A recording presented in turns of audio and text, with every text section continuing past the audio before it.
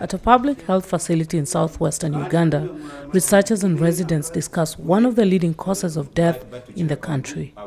twantwenda kumanya omuriimwe hariho abantu abaferirwe bagenzi banyu ab'omu maka ganyu ahabw'omushwija abanyinga abanyabuzari akahayi ari omukazi aine enda gwamukwatire gwamuteganisa kumutwara mu irwaro gwamurengire yawe Accounts like this are far too common.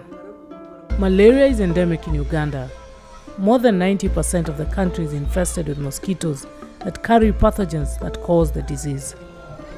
omushiijo eh, nigwo guragiza no kwita abantu guratutinisa muno guragwagira ki guragwatute no magwara abari aba bari kuja mu bingi nihabwenki nihabwo omushiijo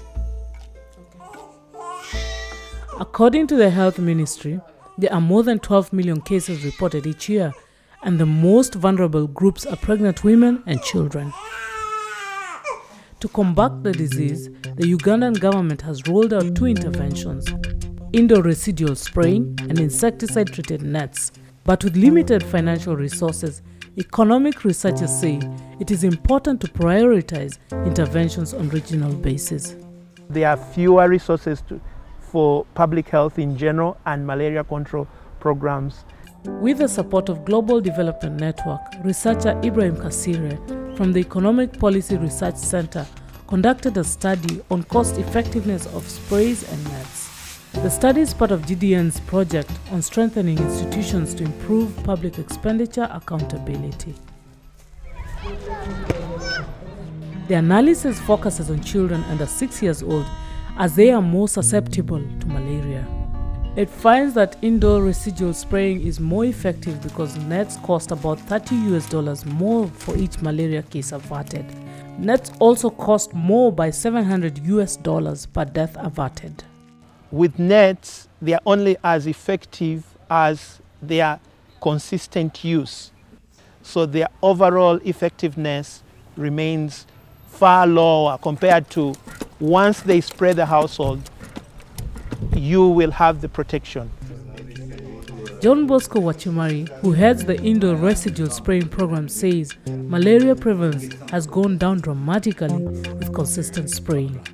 indoor residual spraying is very, very effective in that you don't need the behavior change uh, to make sure to remember to put on a net or like that. A, a, a, a blanket has already been put over to cover all the individuals in that house. But not everyone approves of this intervention. Many oppose it due to environmental and health concerns. People of this community think that if they spray their houses, that smell which comes from the sprays, it destroys their breathing organs. 11 year old Kisutu Ibrahim had malaria as a child.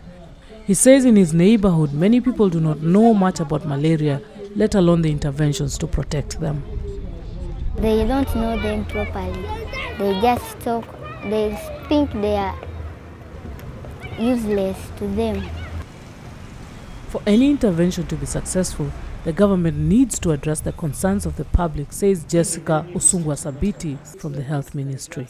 We need to continue communicating people about adverse reactions. I think where we don't do very well is to explain people some uh, unusual reactions can happen, even for well-known interventions. She adds that research is key to executing effective communication strategies and, more importantly, deciding which intervention to focus on.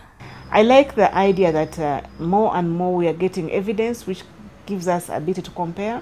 We need to translate this message about the cost benefit to make sure that many people can understand this. Not only the policymakers, but also those who hold the keys to the dollar. Minister of Finance, the parliamentarians. Mother of five, Mexisha Kasende, says that her house hasn't been sprayed in years and currently uses nets to protect her family from mosquitoes. She says if given a choice of either intervention, she would opt for indoor residual spraying. Ati ekinkuteekateeka ngu okufuhirira nikyo kikuru nihaba harimu esiri nihaba harimu obundi bukooko mbwenu nk'okufuhirira bwarugamu tibukakuruma ngu otunge ki few people come here to teach them about malaria.